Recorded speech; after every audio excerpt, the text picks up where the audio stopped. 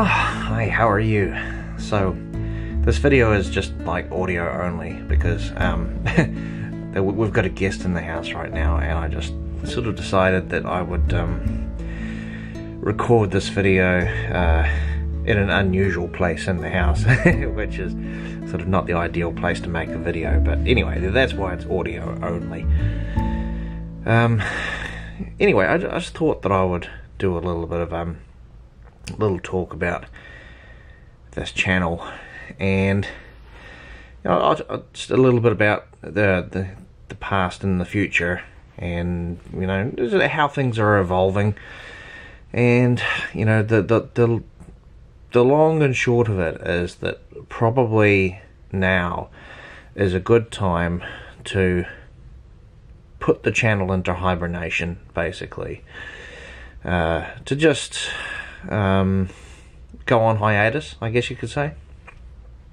Now, uh, what I will say is that the channel isn't going to like disappear. Um, now, I may stop uploading for quite a while, uh, you know, or I may stop uploading travel videos for quite a while. Uh, but the videos that are, that are here already, um, I'm just going to let let them stay there forever um, because they are actually uh, a, a resource for people who, who want to travel, especially people who want to come to travel to New Zealand, because I made a lot of videos about New Zealand travel destinations and things like that. And they are also uh, a very minor source of revenue because I, you know, I am, I do have Google AdSense and everything, and you know, probably earn between one and two hundred dollars per year in the AdSense revenue on these videos. Uh, but the idea was that you know before starting this travel channel, I had done a few different types of YouTube videos. I sort of had started off with uh, on my other channel, which is now called Kiwi Kaimoana. I had started off with uh, animation, uh, animated short films, and then I had done paintball videos because I played paintball for about 12 years uh, through my 20s and 30s. And then I did pro wrestling videos and then I started the travel videos. And so I had gone through this process of, of doing all of these changes. And when you do that, uh, you, you kind of every time you make a change, you sort of alienate your audience because there'll only be a few of them that are going to carry over with you and you know that, that were watching your old videos and then they're going to stay watching. Uh, i'll give you an example. There was a guy named rob. I don't really stay in touch with him too much anymore. Good guy. Uh, and he was one of the earliest people who was doing online paintball videos, and he was doing it way back in like 2003 before YouTube even existed. And, you know, he built up quite a, I guess you could say, a bit of a cult following doing that. And he transitioned and uh, he got to the point where he was getting tired of playing paintball. And so he started doing gaming videos so he did, uh, and, and, he really focused on MMOs and uh, World of Warcraft. And so, you know, there was only a limited amount of his audience that stuck with him, you know, because you're essentially talking about how much crossover is there and how much have people invested in your personal brand that they want to sort of stick with you. So, you know, he must have had about a thousand, oh, sorry, uh, about 3,000 or so uh, subscribers to his paintball channel, and then um, you know he changed and to, to, the gaming videos, and so that decreased the number of viewers. You know, and then you've got to try to boost it back up again. Uh, and then he did the same thing a few years after that. He got tired of making the um, the gaming videos, and then he started doing cycling videos. And and by the time he got to the cycling videos, you're talking about only having by that point one or two hundred subscribers and your videos are only getting, you know, 50 views or less than the 50 views, you know. So every time you sort of evolve and change, a lot of your audience kind of disappears. and you've got to try to get new audience. Uh, and then the other problem happens is that um, your audience um, quickly forgets you. And this is a problem, uh, and uh, because people will see one video or two videos of yours that they like, and they will hit subscribe, and they will just stay subscribed to you forever, without watching, you know, any more of your videos. And I, think this is a problem with YouTube, and it's been a problem for years. And I really wish that there was something that you could do as a creator. So, like for example, I really wish that if you know if you had the option in your settings so that anybody who has subscribed to you but they haven't engaged with your channel recently like they haven't uh, watched a video in six months or they haven't commented on a video in six months or you know whatever the amount of time is basically you can set the parameters so that if people have subscribed but then they haven't engaged with your content at all um, then you have the power to to force them to unsubscribe to you you know you can automatically unsubscribe them you know from you so that you no longer show up in in your uh, in their subscription feed. Um, because the thing is, it, it leads to this sort of false numbers. Because you have this problem where, uh, you know, thousands of people will go and hit subscribe, and then nobody ever watches your videos ever again. And so you'll have a channel which has got thousands of subscribers, and it, it doesn't get any views. Um, I know another feller uh, from the US um, named uh, Nathan, and uh, he lives in the desert, or at least the last time I saw him making videos, he lives in the desert in California, and they got these wild donkeys around the place. And they sort of wander in and out of the towns.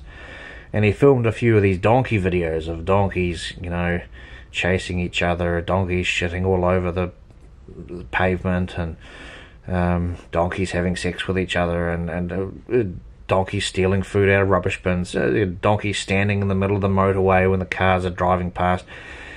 This type of stuff, and for some reason, those donkey donkey videos are really popular.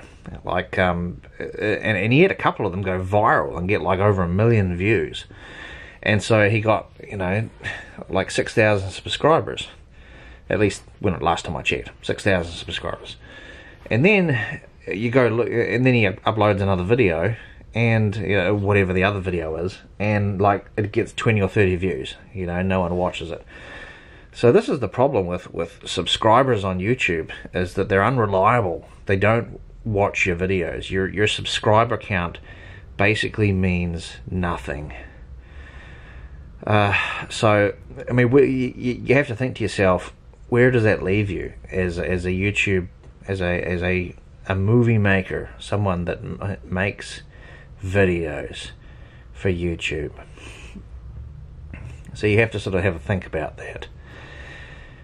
And I mean, what I found is that the only way um, that you can really trust uh, people to watch your videos is to actually rely on the YouTube algor- algorithm to recommend your videos to people. Um, now you can do this anyway by looking at your uh, YouTube analytics, and you have a look at the um, in the videos about where the, the traffic sources are. So where did the traffic source come from for this video? And it'll give you like a pie chart. So it'll tell you how many uh, percent came from uh, clicking on a, an end card, or how many came from YouTube search, how many came from the subscriptions tab. Um, how many came from, uh, uh, they used to be called annotations, now they're called cards, uh, and uh, so on, and how many were external links from an external website. Uh, and the most important thing here is how many were recommended. And you'll find that probably your biggest sources of, of traffic to any of your YouTube videos are actually coming not from your subscribers, um, but you, you find that that's coming from YouTube search and from the recommended tab. So, you know, uh, I, I have been watching this for, for, not just a short time, not just for weeks, not just for months. I mean, I've been watching this for, for years now on YouTube. you know, just constantly going back and looking at the analytics and looking at the other things that people are saying, you know, because because there's always there's lots of other YouTubers out there that are always making videos about how to how to make videos and how to be successful on YouTube and rah rah rah. So, so I went through this process of thinking to myself about what am I going to do with why in the world the YouTube channel and as I said earlier, uh, the the channel is not going to go away because after going through these videos here, you know, uh, the the the animated short films, um, the paintball, the pro wrestling, and now travel. I settled on travel because even though it's not necessarily the most popular um, type of video to be going and making on YouTube, um, it's a it's a it's a type of video that I think I will not be bother. Uh, I won't be bored of it. I won't be sick of it. You know, in twenty or thirty or forty years now from now, uh, you know, I won't be sick of making them, and I won't be sick of watching them. Um, that said, I, I do have some limits, and and I'll talk about that in a moment.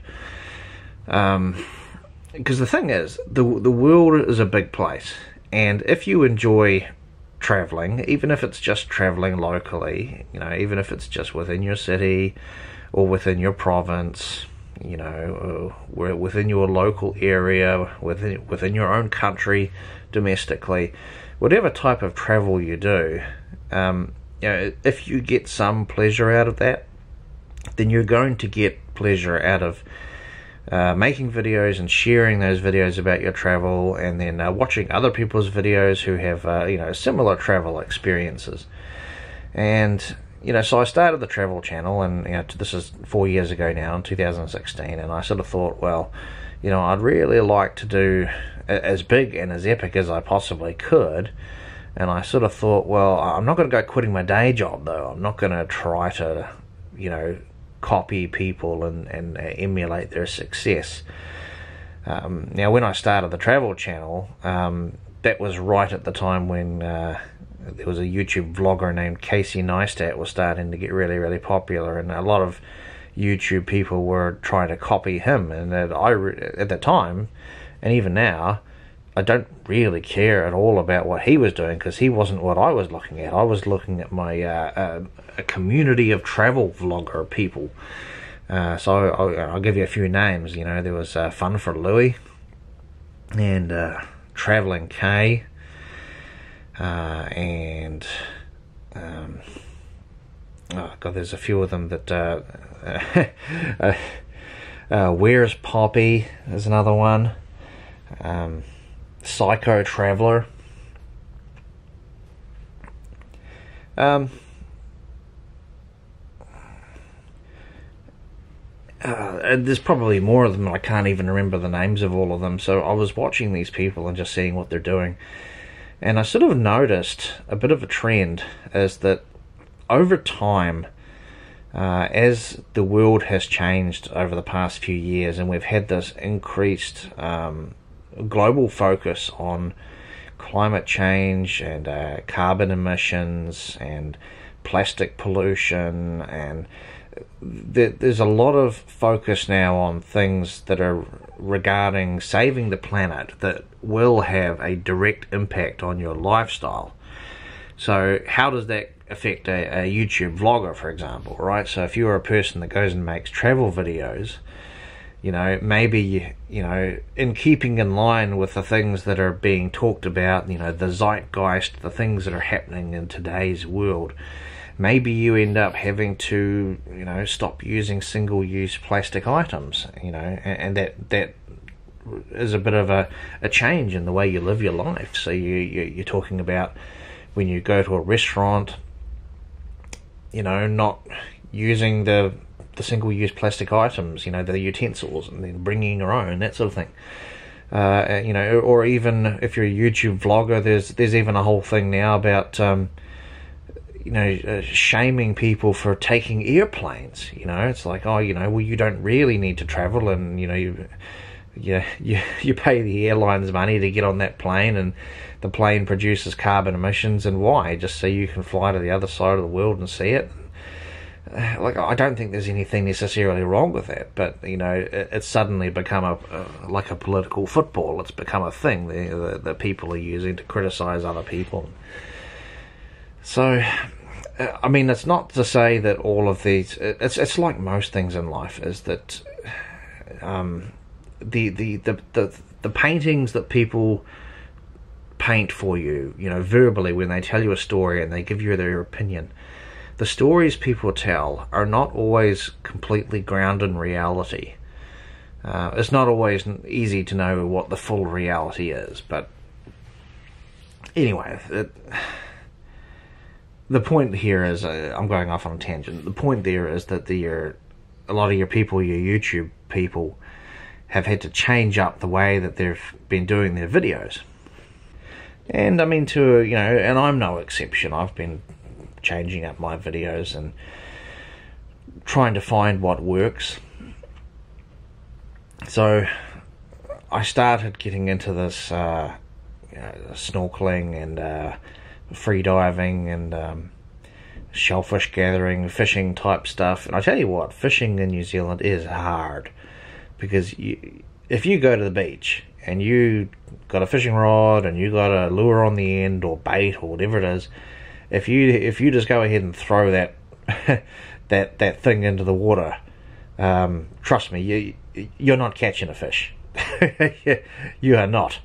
Uh, like if you just go and pick some random place, you're you're not going to catch a fish. There's just there's not a lot of fish in the ocean. I mean, there probably was a hundred years ago. I've watched that uh, TV show uh, Clark Gayford's Fish of the Day, and you know, and, and he actually pulls up these old newsreels from New Zealand back in the 1920s and 30s and you know time like that, and it, the fish was a hell of a lot more plentiful in, in the ocean.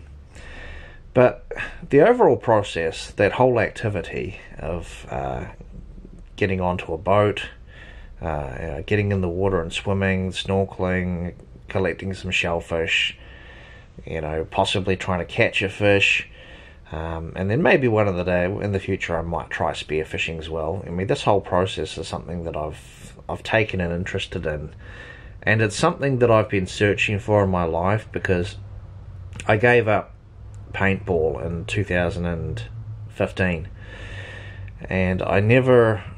I, I was trying to find something to replace that with. Uh, because it felt like there was a hole in my life you know, where I had a hobby and then now, then then after that I didn't. Uh, I tried archery for a couple of years, and uh, you know that was fun, but it was just uh, it just wasn't quite right. Yeah, I don't know what it is. It just wasn't quite right. So after giving up archery, it was like, okay, well I'll, I'll do the diving thing, and you know I found that I really really liked that and so I started uploading some of those uh, dive videos onto Why in the World. And I found that, oh my goodness, people are interested. And, uh, and I've been really struggling with those travel videos on this Why in the World channel to actually find a subgenre of video, some kind of genre of video that A, people want to watch, and B, I want to make. Because that's the eternal struggle, isn't it? Is that you can make a a video that you hate and you, you're not interested at all and it's just shit. But other people they all want to see it. And or the reverse of that is you know, there's something that you love and you want to make a detailed awesome video. And the audience doesn't give a fuck and they're not going to watch it. And, and that's like the eternal problem, the internal struggle with, with YouTubers and, and, and content. And so I found that, that people will watch food videos and people will watch fishing videos and dive videos and stuff. And these are things that I like to do. So, you know, I relaunched my other channel, Kiwi Kaimoana. It's now called Kiwi Kaimoana. Um, and I've done 10 episodes on there. And uh, in the future I'll be doing more. I, I don't know how many episodes per year I'll make, but it's mostly going to be seasonal, mostly over the course of the spring and summer and that. And I'm only planning on doing anywhere from, say, 5 to 15 episodes per year. You know, it's not like a, uh, one of these things where you're putting out a video every week. Like, you know, I, I just, I'm, I'm not going to do that. That's, this is not going to happen. And, you know, and then we, we reach 2021 and the world that we're living in today, and it's like, okay, well, if you've established a travel channel, what do you do in the world of coronavirus? because right now, I mean, we've been we've been in this for a year now. At the time I'm making this video, we've been in this for a year, where yeah, COVID hit the world in sort of April-ish 2020, and you know it was already in China before then, but it sort of spread out to the world around about April 2020, and we've been struggling with it ever since. So different nations, depending on how they're dealing with it, are going in and out of lockdowns. Um, and there's travel restrictions everywhere. So if you travel, you're going to end up with situations where there's like uh, uh, managed isolation, compulsory quarantine, that sort of thing. And you know, tour operators that are doing tours or in the tourism industry or whatever it is that they do. It could be a person that does a jet boat ride on a river. It could be someone that does a bungee jump. Could be people that work at a museum and they show the tourists around. Whatever the tourist attraction thing is that people do, like all of that is like on hold. Like the globally, the entire tourism industry is on hold, and it could potentially be on hold for a few more years. It really just depends on how long it takes us to, to all get out of this.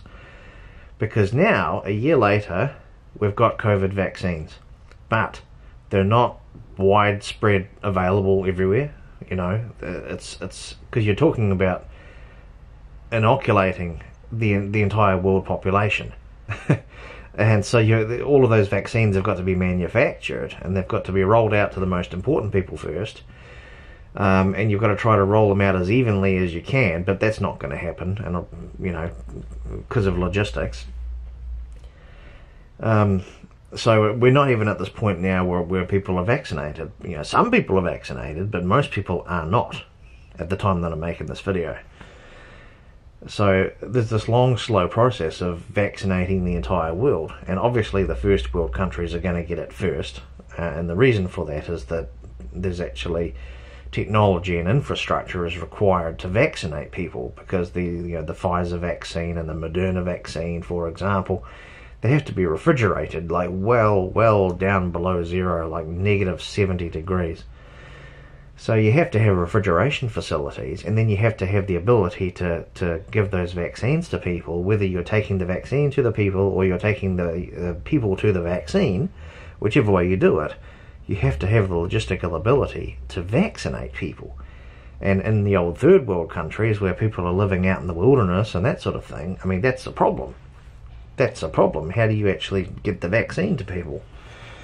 So, you know, there's going to be people in the world that aren't going to get the vaccine for years. It's going to take that long for them to get it because of these logistical reasons, which means that the tour, the global tourism industry is going to have difficulties for years.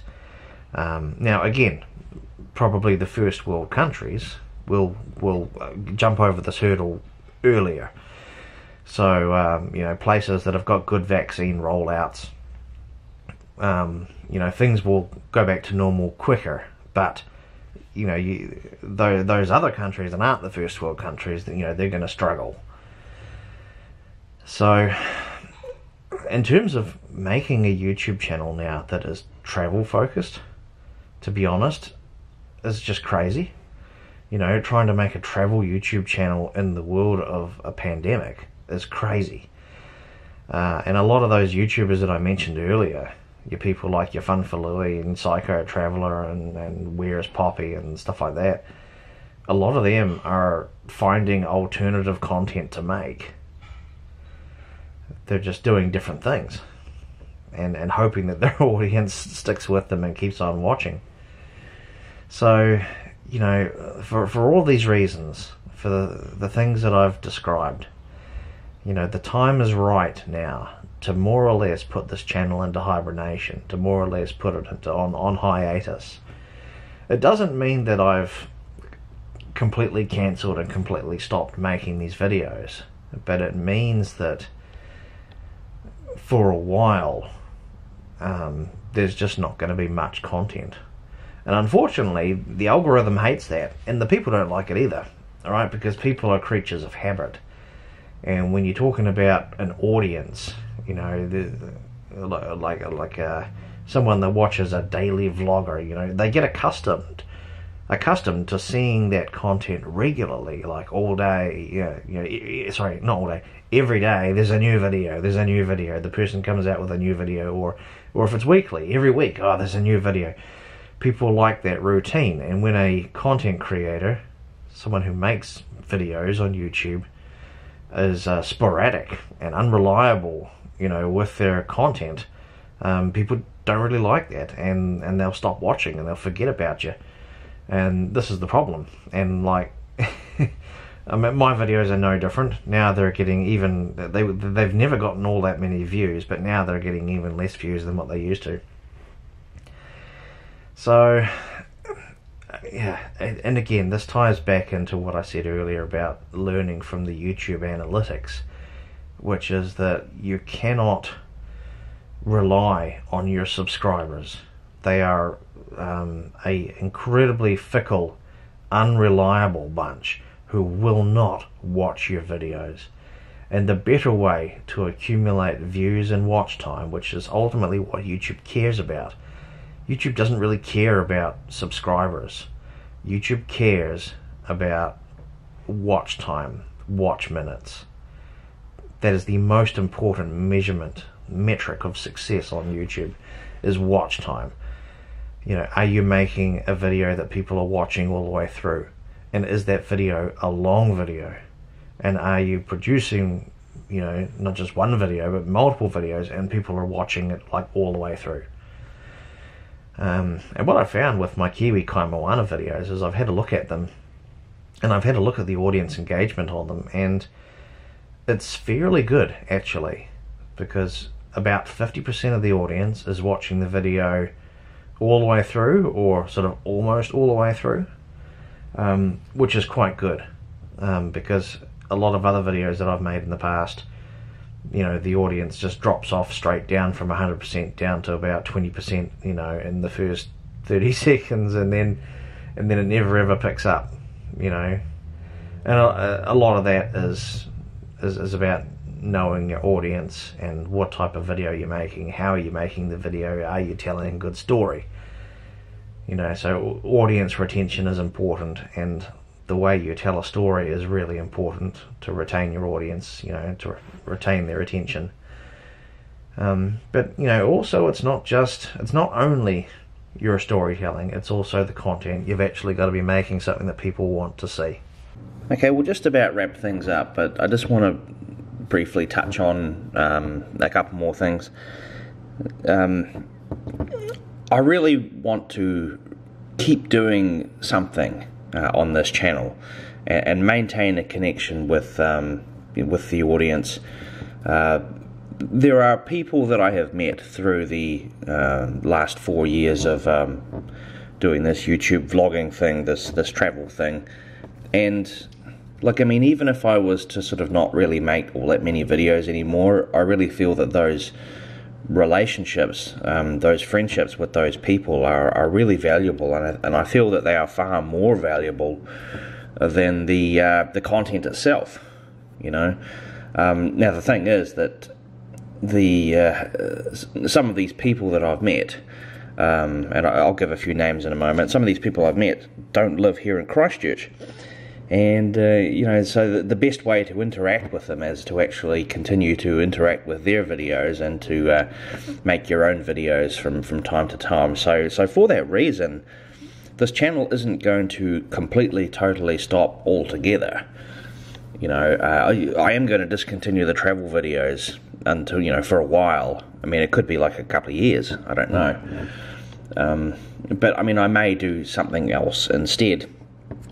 Um, I may do like, well, anyway, or some of these people, like for example, um, like like Daryl uh, from Auckland, and uh, you know Dave from Auckland, Hamish from here in Christchurch, and uh, Karen um, from uh, Taumarunui, and uh, there's the uh, the backpacker guide, um, Robin and Laura um, from the Central North Island, and uh, Marie, Mari from Wellington. Um, so these are all other YouTubers that have got similar channels. Um, I've probably left off some uh, some people that are um, making those YouTube videos, and and then there's those people who I'll probably never meet, but still, you know, they, they watch this channel on occasion, and uh, you know, and and it's nice to have them pop in and, and, and watch a video because you know that that's all that's what this is all about. It's all about sharing. Um, you know, people like uh, Siam I Am and Joseph K and Anthrit and um, ABC One Two Three. Um, just the um, just those those people that just sort of pop in from time to time and watch watch your videos. I mean, it, it's nice when they do that as well. So yeah, I mean, I I want to continue doing something, but you know, the the model of of doing the travel videos, um, I don't think is going to work in the future, and it's definitely not going to work in the next you know couple of years because we're, it's going to take us a few years, honestly, for the entire world to recover from the COVID situation. so I may just do like a, a little wee daily vlog type thing, sort of like what Daryl does, where you don't put a lot of editing into your video and stuff. You just do a little a basic video.